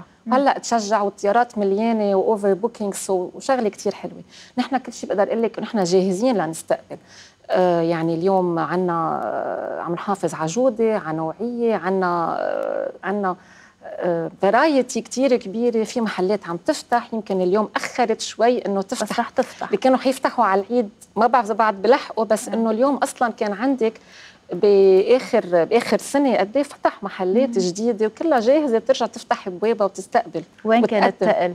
بأي محافظة؟ بيروت كتير فتح محلات جديدة وكانت وكان هلأ بداون تاون المفروض يفتح بعد اتليست 50 مطعم بآخر بآخر ثلاث أربع أشهر يعني ببيروت. أي مناطق اليوم برأيك مايا فيها تكون هي مركز لإعادة إحياء السياحة والمطاعم بلبنان؟ يعني بنعرف في مناطق تأثرت في مناطق تضررت كثير في مناطق تأذت جراء القصف الإسرائيلي. لأن بدها وقت لترجع تستعيد عافيتها وترجع تعمر من أول وجديد. رح يكون في تقل على مناطق أخرى ومحافظات أخرى. برأيك اليوم اياهم ما أحكي شوي كثير عن محافظات اليوم آه لأنه سمعنا كثير كما سمعنا كثير أسئلة إنه والله هالشارع بالمتن أو بانتلياس آه عاش من وراء إنه الحرب لا م. هو أصلا كان إذا بدك اليوم آه من كذا سنة بلشنا نحن بنسميها decentralize centralization يعني بكل منطقة صار فيها إذا بدك الناس بتظهر بهالمنطقة. اللي ساكن بالمتن بيظهر بالمتن. ما عاد كله بينزل على بيروت أو صح. على الأشرفية. آه بكل منطقة صار في مطاعم و night clubs وناس بتظهر بالمنطقة اللي هي فيها. صحيح. هلأ أكيد بيروت بتضلها بيروت بتضلها attraction يعني اليوم هيدي العاصمة. العاصمة. عاصمة بيروت. ولكن اليوم أنا برأيي كل لبنان رح ينتعش. أكيد في مناطق حتاخذ وقت كثير أكثر لترجع تبني إذا مدمرة لترجع يعني في عندك انفراستركتور بدها ترجع تنبنى. ولكن نحن يعني اليوم أمنيتنا إنه نقدر نعيش سياحة على كل لبنان ونرجع ناخذ يعني نرجع نرجع لبنان على خارطة سياحية وبالأخص بسياحة مستدامة كل السنة. وبكل لبنان نرفع علم لبنان نرجع بكل لبنان. برأيك كيف ممكن اليوم يصير في تنشيط المناطق أو كيف فينا ننشط المناطق اللي تأثرت كثير ليرجع لبنان على الخارطة السياحية مثل ما إحنا أصلا كان عنا كان عنا program وأنا شخصيا كنت حابة هيدا يعني كنت حابة يكون فيها المبادرة. كنا حابين نعمل event بأول الصيفية كرمال الجنوب ونطلقه من الجنوب. ولكن ما قدرنا من وراء الأحوال. so شو بيحكي رح- هيدا؟ رح إيه. تخبرينا عنه شوي؟ لا. لا. خليه surprise للسنة الجاي بس أكيد أكيد أكيد نقابه أصحاب المطاعم سنة الجاي حيكون لها وجود بالجنوب وحنفتتح الموسم السياحي من الجنوب سنة الجاي حلو كتير. بتعرفي مع إصرار ال- المواطنين يلي غادروا بيوتهم قسرا و- ونزحوا إلى مناطق أخرى كيف رجعوا رغم إنه في كتير منهم بيوتهم تدمرت في كتير منهم عم يقعدوا عند أصحابهم كرمال يمشوا حالهم بس اصرارهم وصمودهم إنه. بدهم يرجعوا يعمروا من أول وجديد ما بستغرب إنه بتاخذ كتير وقت صدقينا يعني أكيد هذا. الشيء آه، بخلينا عن جد نحس إنه البلد عن جد رح يرجع يعمر رح يرجع لمجده آه، إذا الله. راد كنا عم نحكي عن الطاقات الشبابية كنا عم نحكي عن نسبة الهجرة عندك شيء آه، بالأرقام قد إيه نسبة الشباب والصبايا يلي هاجروا؟ نحن كان عندنا بالقريب بال 2019 تقريبا 150 ألف موظف لبناني بالقطاع السياحي. آه، ل 2021 كانوا صاروا شي 60 70 ألف. هالقد؟ رجعنا حسينا بال 2023 صار في حماس للرجوع حسوا إنه هالقطاع رجع عم بيزدهر. آه بعدهم ما فلوا بعدهم موجودين هون ونحن اللي حابين إنه يرجعوا يرجعوا كلهم. هلأ بالأرقام exactly لأ ما عندي أرقام exact بس نحن عم نشتغل كثير على هالشيء هيدا ونرجع نرجع اللبناني أو على القليل نخلي اللبناني اللي عم بيتعلم هون وعم بي عم بيتخرج نخليه بلبنان إن شاء الله أكيد. وبهالإطار أكيد يمكن عم ترجعوا تعملوا آه، دورات تدريبية دورات إعادة تأهيل صح للعاملين أصلا على بالقطاع صعيد فردي بكل مؤسساتنا. صح. هلا جايين نحن على موسم أعياد مايا مثل ما ذكرنا. آه شو مستنظرين؟ قد إيه مستنظرين يكون في عدد سياح؟ اللبنانية كمان قد إيه مستنظرين يكونوا يلعبوا دور كمان بتنشيط هالدورة الاقتصادية اللي هي كمان آه شيء كثير أساسي أكيد. مش كنت عم تحكي قديش الواحد بلبنان بينسى آه، بيفرح بسرعة وبيزعل بيزعل بسرعة. بسرعة. so نحن مستنظرين اليوم اللبناني already حسينا بالآخر 24 ساعة قديش صار في تغييرات قديش صار في حجو- حجوزات. قديش صار في ناس عم عم تحجز حتى ل آه، ثلاث أربع جمع لقدام. لا مستنظرين إن شاء الله إنه يكون موسم حلو. والحمد إن شاء الله هي بلشت. already. ال event ات وال... والسهر والمطاعم والحجوزات يعني عم مش عم لحق messages على التليفون هذا الشيء عن جد كثير حلو. صدقيني إنه عم نرجع هيك شوي نرجع لحياتنا نرجع آه نشوف إنه ما في دمار ما في قصف ما في حرب على أمل أكيد آه تضلها هيك. يعني مش نضلها هيك. واقفين على صوص ونقطة مثل ما بيقولوا بدي. منك مايا توجهي توجهي رسالة لأصحاب ال- المطاعم يلي عم يرجعوا يحاولوا النهوض من أول وجديد. أنتم مقاومين. نحن عم نقاوم بال initiatives بال creativity ونحن عم نصدر الأفكار وعم نصدر المطاعم لبرا وعم نصدر خبراتنا لبرا. يعني اليوم آه، نحن نحن جاهزين اليوم. نحن أصلا عنا الخبرات لنقدر نرجع نكفي. ومثل ما مثل ما كذا مرة صرنا عم نبني وننزل ونرجع عم نطلع ما في شيء بيوقف قدامنا. بقى- مثل ما ذكرت أنا كمان بمقدمتي مايا إنه آه، قطاع السياحة بلبنان هو قطاع حيوي قطاع أساسي. هو آه، رمز ثقافتنا ورمز ضيافتنا ورمز. كرمنا يلي بيجوا من صح. آخر الدنيا. ليجربوا أو يقعدوا آه، بمطاعم لبنان يزوروا لبنان ويعملوا سياحة بلبنان هذا الشيء مش رح يتغير أكيد رغم كل الظروف والتحديات يعني اللي رح نحن نقطع فيها. نحن قطاع السياحة قطاع الأمل مم. والفرح والضيافة وهذا هو اللبناني مش رح يتغير أكيد هذا. الشيء على أمل أكيد يساعدونا كمان أنه نتنعم هيك بال بالاستقرار وبالأمن وبالأمان هذا أهم شيء هذا هذا. هذا مط- هذا مطلبنا الوحيد أنا بدي أتمنى لك التوفيق. مايا أكيد. وأتمنى لكل. اصحاب المطاعم يلي عم يرجعوا يحاولوا يوقفوا على إجريهم التوفيق أكيد عضو مجلس إدارة نقابة أصحاب المطاعم مايا. بخعاز شرفتينا أهلا وسهلا فيك. فاصل ونواصل تغطيتنا من بعده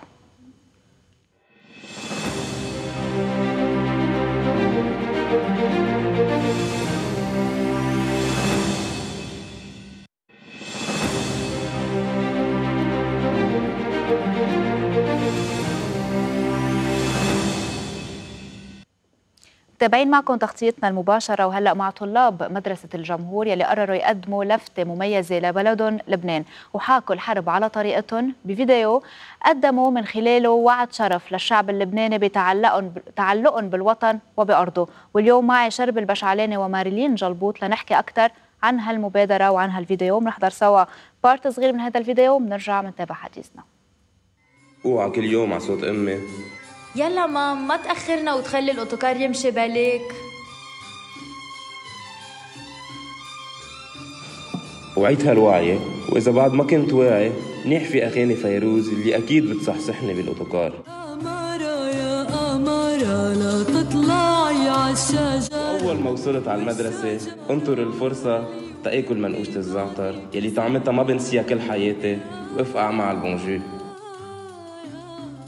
إجا وقت صف العربي. قواعد أعراب والأبجدية.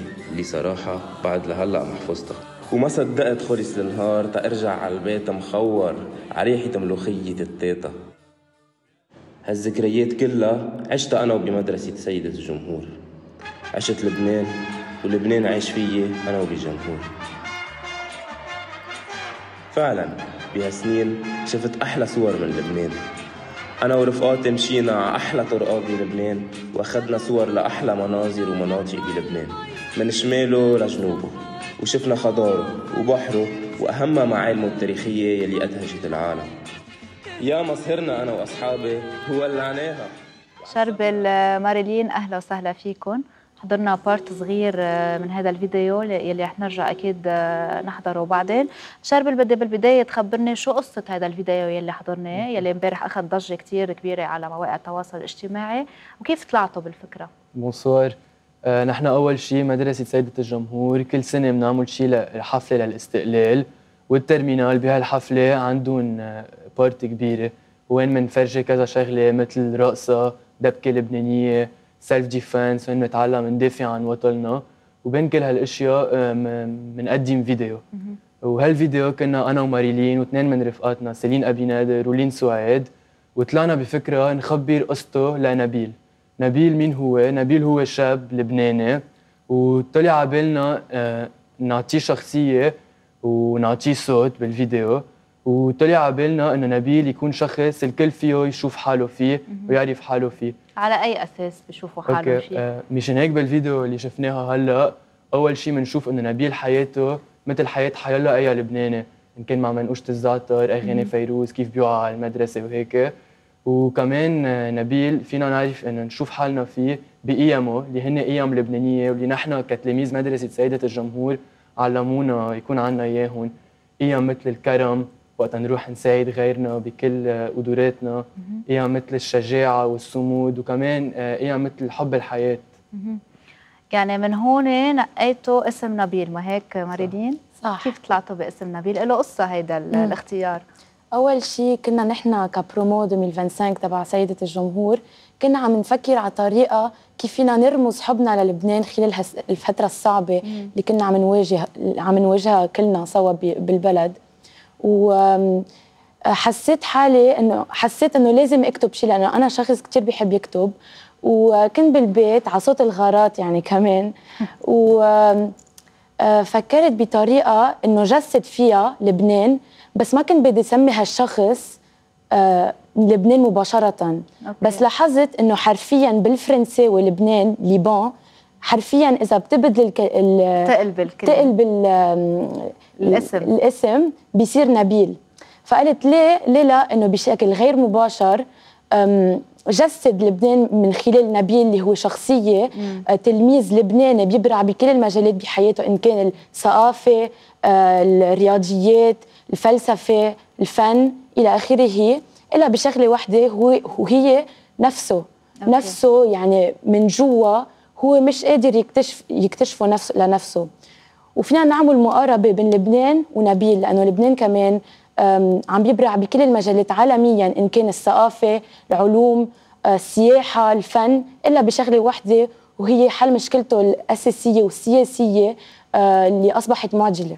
يعني أنا أول شيء بدي اثني على هيك كيف قدرتي تنتبهي على إنه بس نقلب أحرف ليبان بالفرنسي بصير نبيل. هذه فكرة كثير ذكية. هلأ عم نشوف بالفيديو كمان إنه في لاتر كانت مكتوبة رح تقطع نرجع نحضرها بالفيديو بدي تخبريني شو بتتضمن هيدي اللاتر نخبر المشاهدين شو كلماتها؟ شو معناتها؟ نعم. أول شيء هيدي اللاتر بتبلش بتلميذ نبيل بيرجع من المدرسة وبيبرع بكل شيء مثل ما قلت إن كان الرياضيات الفن الفلسفة يعني بكل المجالات وال matières. exactly عم بيخبر إنه هو بكل شيء منيح يعني هو يعني بكل شيء عم بيبرع بس بالآخر بقول إنه هو problème بالرياضيات بالفرنسي ال problème هي عم عم عم عم بيقدر يحل المشاكل بالرياضيات يعني ال problème إلا شغلة وحدة وهي اسمه بالقلب مشان هيك سميت ال lettre بالقلب à l'envers آه okay شو سميتيها؟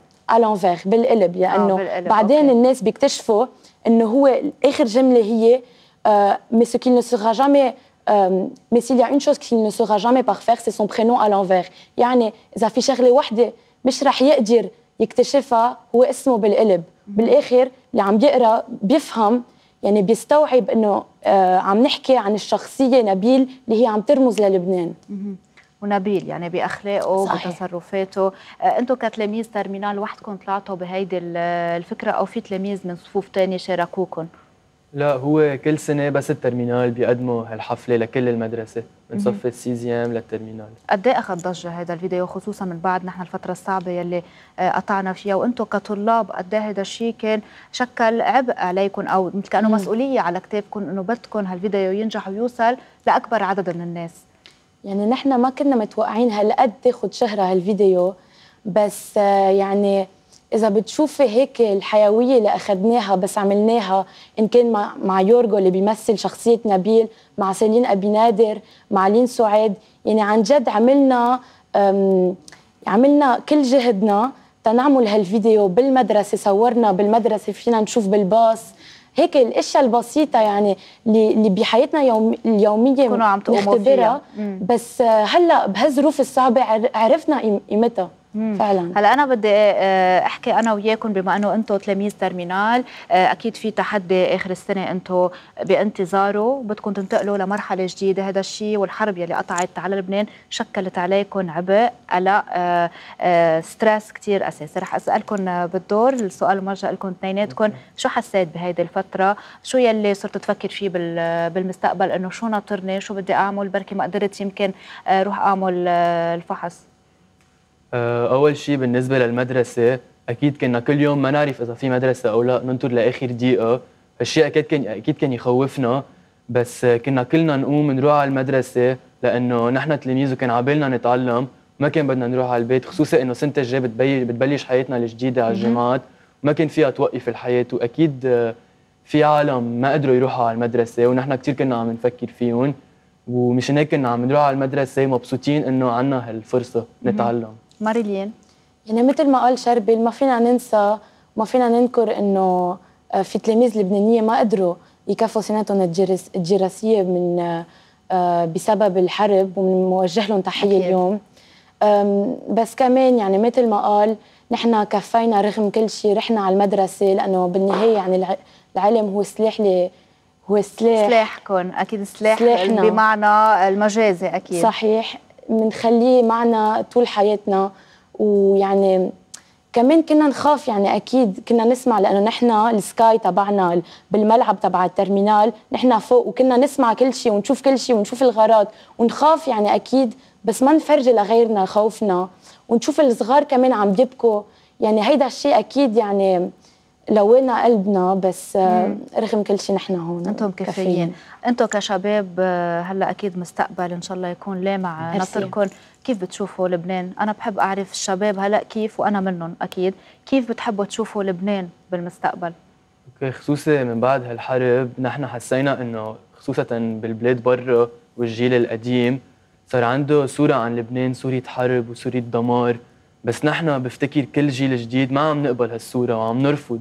نحن بعدنا بنشوف لبنان مثل بلد حب وبلد فيه أمل وبلد عنده تاريخ ونحن أكيد عبالنا نضلنا هون تن تن تنعمر لبنان عن جديد. ماريلين. كمان مثل ما قال يعني أنا بعتبر إنه لبنان هو بالنهاية يعني هو الثقافة هو العلم هو هو السياحة هو الحضارات اللي كلها إجت بأر- بأراضي لبنان وكونت بالنهاية تاريخته الغنية. فأنا بدي أقول إنه لازم نفتخر بلبنان ولازم نفتخر بهالجيل الجديد اللي عم بيسخر كل طاقاته كرمال آه يضل بوطنه. صحيح. وما صحيح. يهاجر أكيد. يعني آه، آه، شربل ومارلين هن خير دليل على أنه بالفعل نسخر كل طاقاتنا ونسخر كل جهدنا ونشتغل كرمال لبنان ونشوف لبنان بعين أخرى وإن شاء الله هيك على دورنا بينكتب تاريخ جديد بلبنان وبنشوف لبنان الجديد بعيوننا. بدي أتشكركم شربل ومارلين بنتابع ما تبقى من مقطع الفيديو. نرجع بنتابع مصهرنا أنا وأصحابي هو اللي عناها وعذبنا أهلنا رايح جاي بهالليالي مع إنه الجوار كتيرة والقدوة مطفية وبهالأيام الغارات نازلة. آخ علينا اللبنانية. لو شو ما صار بنضل ملوك الليالي. وكمان ما نسيت ضل فكر بإخواتي اللبنانية يلي قسيت عليهم الحياة وكنت دايما أوقف حدهم بكل إمكانياتي المادية والمعنوية.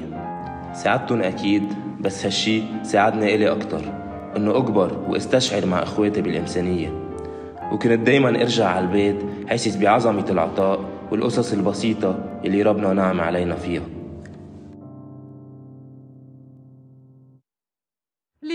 ومن أهم الأشياء يلي انحفرت بذكرياتي يلي كانت صعبة علي هي هالسنين الخمسة الأخيرة. ما عرفت المصايب من وين بدها تنزل على راسنا. وبهالفترة كان أهم سؤال عم بينسأل ببيوتنا كل يوم منبقى أو منفل؟ وبقينا ليبقى لبنان.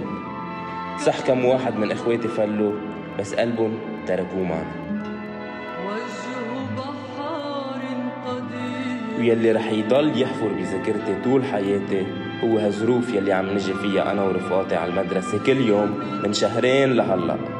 أنا ما بعتقد في تلميذ بالعالم بصر يدرس وفوق راسه الأمكان وعلى يمينه مسيرات وعلى شماله غارات.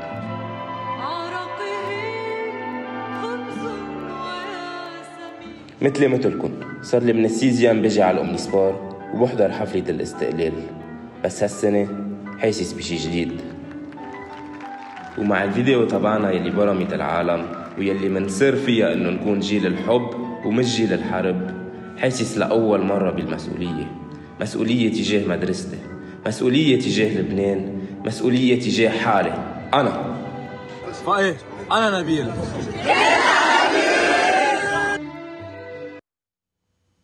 خلال أصعب المراحل يلي مرينا فيها كان في ناس عم يتحركوا بسرعة ليكونوا خط الدفاع الأول بوجه الألم بوجه الجوع وبوجه الخوف. مراكز الإيواء والمساعدات الإنسانية كانت عم تشتغل من دون توقف لتأمين الدعم للأفراد والعائلات المتضررة. واليوم معنا صاحبة إحدى المبادرات كوثر عواضة يلي رح نحكي أكثر معها أكيد عن مركز بنين بالمدينة الرياضية. تحديدا أهلا وسهلا فيك كوثر. أهلا فيكي مساء الخير. مساء الخير للجميع. يعطيك ألف عافية أول شيء على. كل ال- الجهود يلي كنت عم تقومي فيها أكيد أنت ومجموعة من ال- الأشخاص. بداية صح. بدي بلش معك نتطرق لمركز بنين بالمدينة الرياضية يلي هو يعتبر من أكبر المراكز وتقريبا قدرته الاستيعابية بتساع ألف شخص. خبرينا كيف بلشتوا؟ كيف أسستوه كيف عملتوه بهيدا ال- الحجم ليقدر يستوعب عدد كتير كبير من النازحين؟ أول شيء آه، بلشنا نلاقي قد إيه في مطارح آه، قليلة للايواء مدارس انتلت. العالم حتى ما عم بتلاقي مراكز جديدة تفتحها. فطرقت جمعيه بنين لهيدا المشروع. وطلبت إذن من محافظ بيروت وأخذوا الموافقه من آه، من الوزارة بظن نعم. وعبر هيدي الموافقه بلشوا يجمعوا تبرعات. وأكثر شيء ركزوا على إنه يكون في أعداد كبيرة بتقدر تستوعب هذا المحل. بلشوا يعملوا هنجرات من ال gypsum board وجمعوا تبرعات. أكثر شيء إجت من أستراليا ومن أمريكا. كلف المشروع 200 ألف دولار. آه بيستوعب ألف شخص. وفي مركز لمطرح لل- للتعليم للأولاد في إنترنت في مطارح للطبخ في مركز آه، عملناه سوري مكان. مطبخ. لا مطبخ آه. ميداني. وفي كمان عنا آه، أماكن لتستوعب آه، بعد هلأ. يعني هلأ منتلت تقريبا ثلاث أرباعها يعني من امبارح لليوم اجى لعنا تقريبا شي فوق ال 20 عائله هذا السؤال اللي بدي أسألك إياه كوثر. آه يعني قبل ما. نتطرق آه للمرحلة ما قبل وقف إطلاق النار بدي أعرف منك قد إيه بيبلغ هلا عدد الأشخاص الموجودين بمركز بنين بالمدينة الرياضية؟ ويا هل ترى آه بعد في ناس عم تجي في ناس طلعت على بيوتها ورجعت لأن شافت إنه بيوتها غير مؤهلة للسكن؟ إيه كثير عم بتصير. يعني في مركز بالحمرة تواصل معنا امبارح بالليل عم بيقولوا إنه لازم نسلم المبنى نهار السبت. وفي بقلبه بعد 11 عائله وما كنتوا أنتم. مسؤولين عنه هذا المركز لا لا؟ شخص هو المسؤول أوكي. عنه عم بيقول بدي سلمه للدولة. ما معي مهله إلا للسبت الدولة عم تأمن لهم بديل ولا عم لا يلجأوا ما حدا لكم؟ للأسف لا ما في ما حدا عم بيقدم بديل وبالعكس عم بيطلبوا منهم ان يخلوا المدارس ويخلوا كل مراكز الإيواء تقريبا من دون بديل بدون بديل شو رح تعملوا. بهذا الإطار؟ قد إيه رح تقدروا تستوعبوا عدد من النازحين؟ ما هيدا هي يعني نحن الخطة الموجودة لألف شخص هلأ بتقولي لي شو فينا بعد نعمل؟ بدنا نشوف ننطر البلد. أول شيء ليتمركزوا العالم من أول صح. وجديد. بعدها جديد الخبرية. بعد الجديد كثير الخبرية صحيح. ويمكن هلأ نضطر لنرجع نعيد الشغل من أول وجديد بس من مطارح جديدة. كيف؟ يعني مثلا بجنوب بسور نرجع نعمل مراكز إيواء جديدة واضعين؟ أم، حاطين خطة بهذا في؟ في في شيء بده يصير جديد على الأرض لأنه نحن بعد ما تواجدنا وين ما كان. هيدا الأماكن كلها كان بعدها خالية هلأ بنرجع نتواجد فيها. وبدنا نشوف شو المطالب الموجودة على الأرض هل حتتدخل الدولة حتعمل شيء وإذا لا نحن شو فينا نقدم.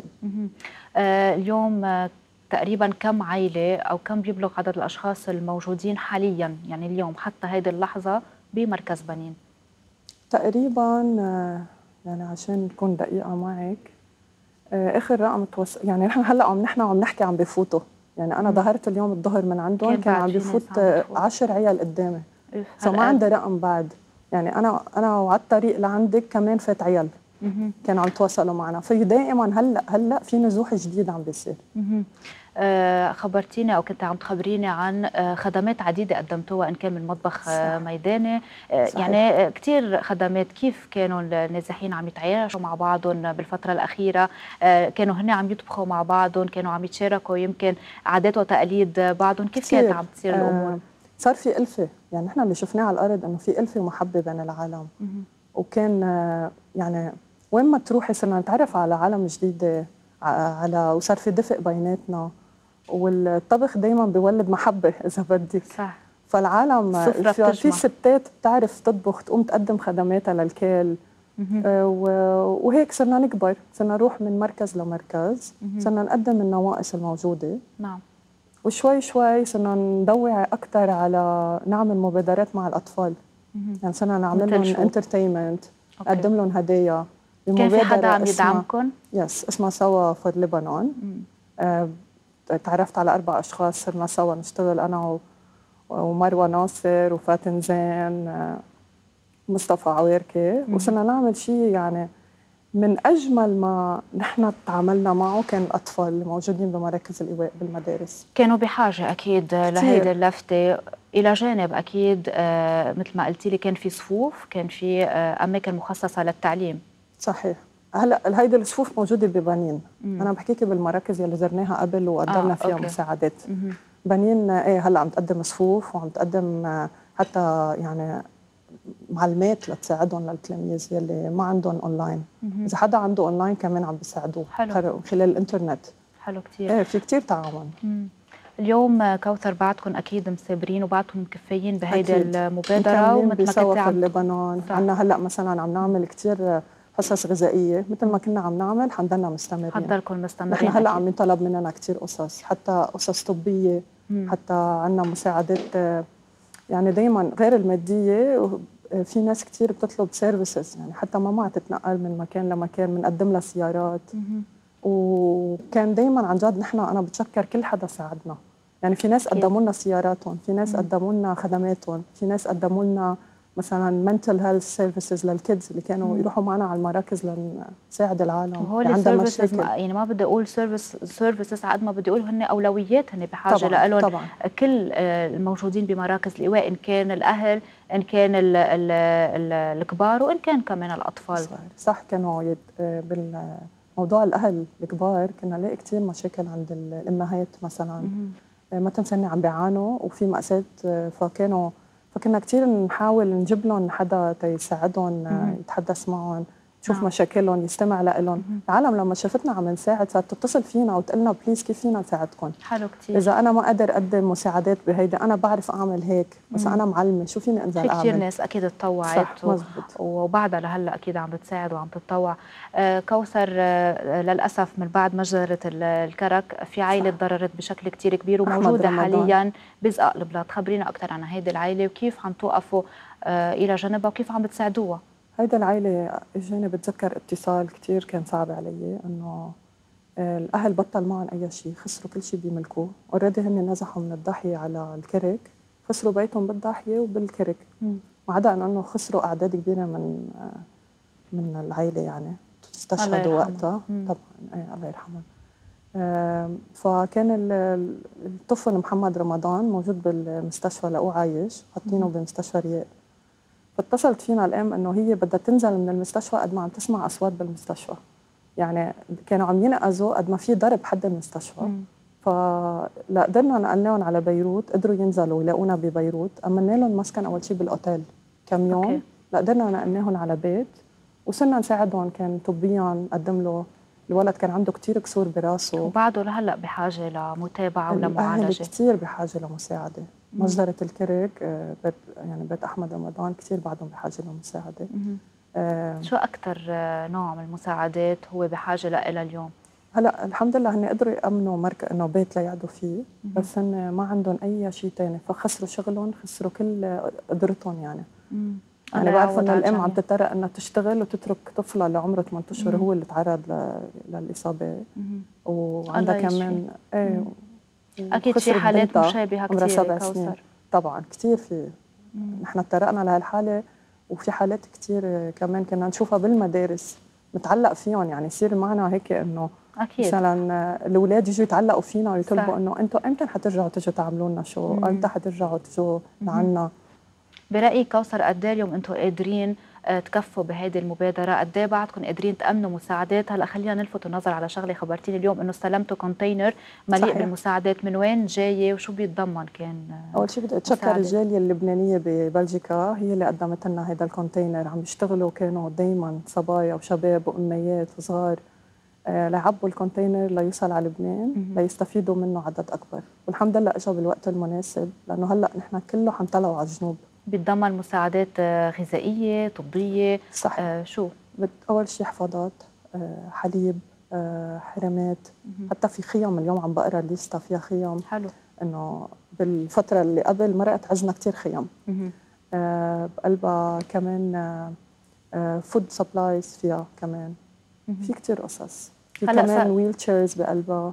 حلو يعني أتذكر. آه، فيها تقريبا بتغطي يمكن كل ال- الحاجات والاحتياجات اللي هن صحيح، بحاجة صحيح، لها صحيح. نازحين هلأ صار أسهل عليكم يمكن تتنقلوا صح. آه، بالمناطق آه، رح كمان تتوجهوا صوب الشمال تشوفوا وين في مراكز إيواء وين في نازحين هن بحاجة لمساعدتكم مثل ما قلتي لي هلأ رح تتوجهوا إلى الجنوب صارت سهله شوي هلأ مع وقف اطلاقنا أكيد. لأنه آه، تتوسعوا يمكن نشاطكم نحن كنا قبل عم نشتغل تحت الأنقاض والضرب كان كتير صعب. يعني نحن عم نترك عيالنا بالبيت ونروح وكنا عن جد أمرات ما نكمل نرجع على البيت. هلأ كتير أسهل الحمد لله. يعني هلأ كمان العالم نزحت رجعت على بيوتها. فهيدا الشيء بيساعدنا نعرف وين هن. لننطر ليتمركزوا بدنا نصير نتوجه على الضياع. على مدينة سور. ما سور كتير صار كمان فيها ضرر للأسف. مم. اللي كتير هلأ بعدها عم بتعاني لهلأ. صح. أنا وجاي كنت عم بسمع إنه شو عم بيصير مضبوط عندهم بعدها أكيد المواجهات آه، مستمرة على أمل إنه خلص تتوقف يعيش آه، نعيش بسلام أو. يتنعموا كمان هالناس اللي طلعوا على بيوتها ورجعوا على بيوتها بفترة آه، سلام. يعني إن شاء الله على أمل. آمين. آه، كوثر آه، كنت عم تقولي لي إنه كانوا عم يطالبوا إنه بإخلاء بعض الأماكن. المدارس. شو الرسالة اللي هلأ بتوجهيها للدولة؟ أنا بقول إنه يا ريت بيصبروا على العالم لأنه في كتير ناس حابة تروح على بيتها بس منا قادرة. ما حدا مبسوط مطرح ما هو. لو نحن خلقنا له الجو ولو أعطيناهم قد إيه فينا نستمر نعطيهم. فبدنا الدولة تلاقي حل سريع عن جد. مثل حالة طارئة هلأ للعالم اللي حترجع ما حتلاقي بيت لها هيدا أمر كتير أساسي والأمور التانية بتتبع يعني أكيد لأنه يمكن خفت هلأ أعداد مراكز الإيواء بما إنه في مدارس صح. رح ترجع لطبيعتها بترجع أكيد تستمر بعملها العام الدراسي رح يستأنف إذا الله راد مزبوط. يعني لازم كمان أكيد ينتبهوا على هيدي الشغلة ويلفتوا انتباههم يعني يكونوا أكيد منتبهين. على هيدي. النقطة كوثر عواضة أنا بدي أقول لك يعطيكي ألف عافية ولك. ولباقي كل الشباب والصبايا اللي عم بيساعدوا آه، كل النازحين وكل يلي هن بحاجة لهلا آه، للمساعدة بهيدي الفترة الصعبة. فيني الله يقويكم. أتشكرهم أنا كمان. أكيد تفضل. أنا بتشكر كل حدا ساعدنا دكتور رائد لطوف اتحاد كلنا للوطن وسوا فور لبنان وكل حدا قدم لنا مساعدات من لبنان ومن خارج لبنان. شكرا وميرسي لك. كثير لاستضافتكم. أهلا وسهلا فيك شرفتينا. ميرسي يعني يعني مع هالمبادرة الفردية اللي كل يوم تقريبا عم نضوي على مبادرة فردية عم نضوي على مبادرات الشباب آه، والصبايا أكيد المشكورين يلي عم يرجعوا يعطونا هيك شوية آه، أمل إنه بكرة أحلى إنه لبنان أكيد آه، رح يرجع بنختم أكيد آه، حلقتنا لليوم وصار وقت نسلم الهوا لزملائنا أكيد باسم الأخبار. أما أنا برجع بلاقيكم نهار التنين إذا الله راد إلى اللقاء.